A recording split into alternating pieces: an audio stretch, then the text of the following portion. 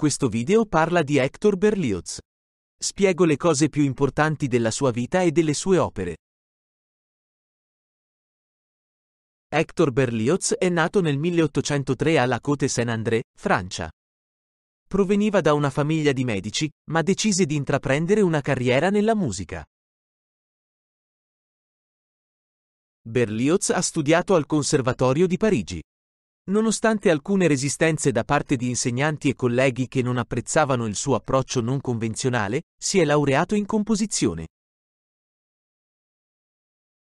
Una delle sue composizioni più famose è la Sinfonia Fantastica.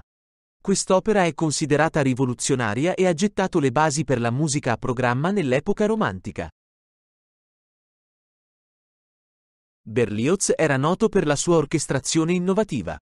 Ha ampliato l'orchestra con nuovi strumenti creando colori sonori unici, fino ad allora sconosciuti nella storia della musica. Oltre alle sinfonie, Berlioz ha anche scritto opere come Benvenuto Cellini e grandi lavori corali come Requiem. Queste opere si distinguono per la loro complessità e espressione drammatica. Berlioz è stato fortemente influenzato dalla letteratura, in particolare dalle opere di Shakespeare. La sua musica spesso prende in prestito temi letterari e li traduce in linguaggio musicale. Berlioz ha viaggiato molto in Europa e ha eseguito le sue opere in diversi paesi. Anche se era controverso in Francia, godeva di grande stima a livello internazionale. Berlioz morì nel 1869 a Parigi.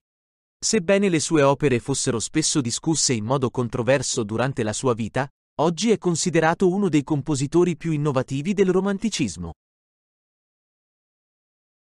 Hector Berlioz ha influenzato significativamente la storia della musica con le sue opere non convenzionali e le sue tecniche innovative. La sua musica ha aperto la porta a nuove possibilità musicali.